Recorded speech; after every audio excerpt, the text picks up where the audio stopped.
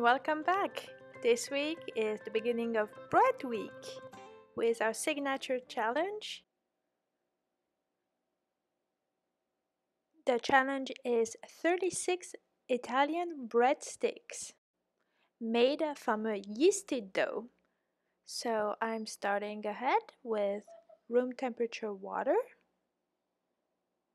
and I choose to use active dry yeast that I'm adding to my water.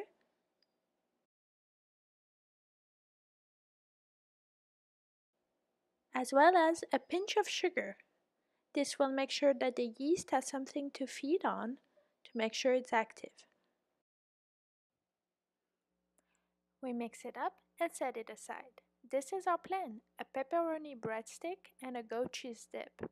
I will add pepperoni bits inside the dough as well as some fermented and garlic chili paste that I homemade previously.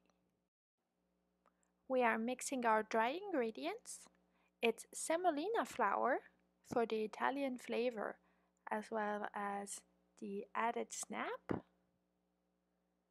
and some bread flour. Bread flour has added gluten to it which makes the dough be able to stretch a little more and has a better structure for the bread. We're adding some salt for flavor, a fair amount, as well as some paprika, both for the smoky flavor and the color it will add to the dough.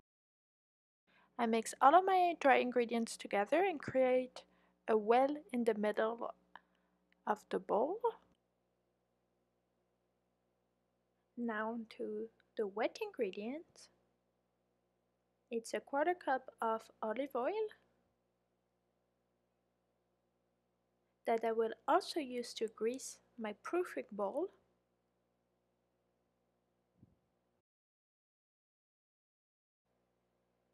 Our yeast and water mixture and another cup of room temperature water and I'm mixing everything by hand at first before putting it uh, with the dough hook in the standing mixer.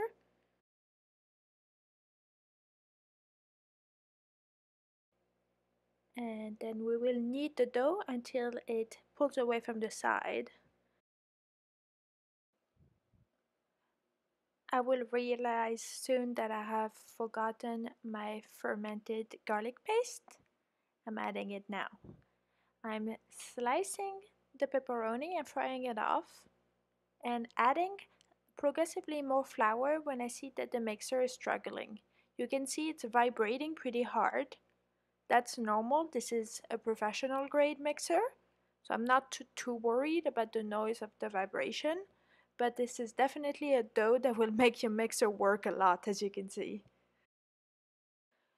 Don't walk away but keep an eye on it and the dough was pulling away from the side, so it's time to add our fried off pepperoni. Give that a mix.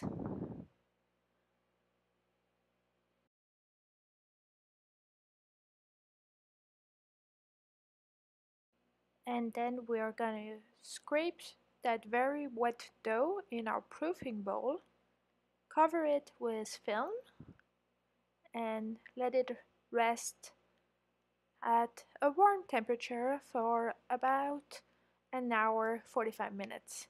It's time to make our dip which is going to be starting with Icelandic yogurt. You can use Greek yogurt. That's what I had on hand. Some goat cheese and the fresh herbs you can see. So we have some mint, a little bit of basil and some scallion. But first we want to make sure that our yogurt to goat cheese make sure it's very smooth. Then we're going to pick all of our fresh mint leaves, roll them into a little bit of a cigar, and slice them finely. And we'll do the same process for the basil. Incorporate that to our mixture. And I tasted it, thought it needed a bit more seasoning, some salt, some pepper, and a little bit of acidity. So I added the juice of a Meyer lemon, just about 2 tablespoons. Taste it again. That was much better. Time to put it in my favorite utensil, the piping bag. And we'll leave that in the fridge until we're ready to use it.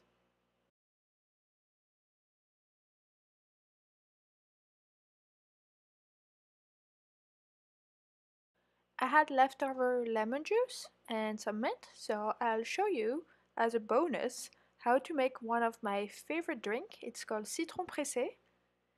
And apparently it's not very common in North America, so you have some lemon juice, you top it up with seltzer, add your fresh leaves, and that's a refreshing drink when your kitchen is very warm.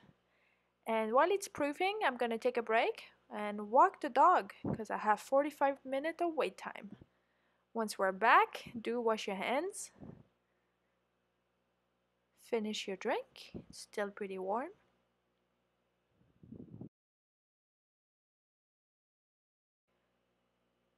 And the dough has risen. We're gonna prepare our pans with a fair bit of olive oil to make sure that our bread breadstick won't stick add some flour to our work surface. Not too too much. I know the dough will be looking sticky, but if I add too much flour, it will make the dough uh, a little bit too tough. I am degassing it, flattening it out with my fingers, and then I'll portion out with my bench scraper. So I'm supposed to make 36 breadsticks so I had to do a little bit of math, 6 times 6. And keep the pieces that you're not using uh, wrapped so they don't dry out. It's a pretty wet and fatty dough with the addition of the olive oil. So unless you work really, really slowly, I don't think that the dough will dry out. But if you're working with a sourdough or uh, anything that does not have oil or fat in it, I would recommend, yeah, putting it under a saran wrap. We're gonna put our portions of dough into little spheres and then we're rolling them out with our hands once we have the right number. It was part of the requirement that they had to be a minimum of 10 inches long, so that's why I put my ruler out so I had to make them at least 14 inches because I was accounting for shrinkage once the dough relaxes and bakes off as well. And I'm using that uh, inside to outside motion for all of them, adding very gentle pressure to stretch the dough out. And once they're ready, I put one batch in the oven and start with the other batch. I only have two half sheet pans and only have two racks in my oven anyway so I had to roll out the second batch as the first batch was in the oven and keeping consistency throughout the batches is going to be a challenge in this signature challenge. And I will use the same process inside to outside and you can see I'm getting better and the breadsticks are a little more consistent, a little thinner as I go along. So practice makes perfect.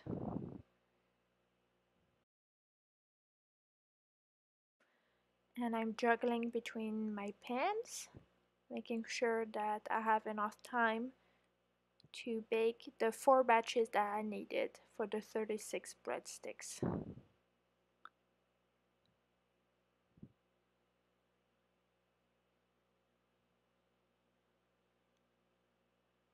Oh, that's the last batch in the oven. Time to put our dip in a pretty container and wrap our breadsticks. And one of them did snap, and that's a was to be accounted for. They are fairly fragile, especially when warm, and I was running out of time.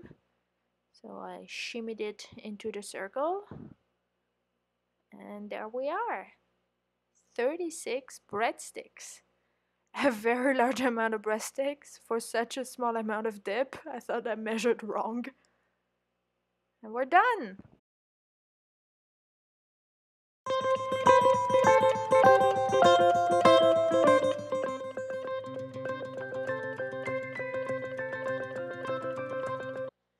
My judges this week are Lori and Ben. who came over to eat some breadsticks. They both said that it was very edible. They liked the flavor of it. However, they would not describe the flavor as pepperoni like. They were missing that meatiness, that garlicness from the pepperoni and suggested that I would have added some pepperoni spices, not necessarily more pepperoni bits into the dough. They both noticed that the breadsticks were snappy in some places and soft in others. I account that to the lack of time in those last batches. However, they both really enjoyed the dip, funny enough. I quote, that dip is exactly what I want a dip to be. Isn't that a compliment?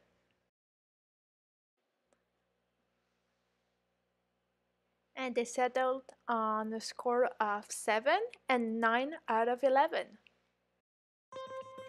Visit tinyfrenchbakeon.com for more info and I'll catch you up next week for the technical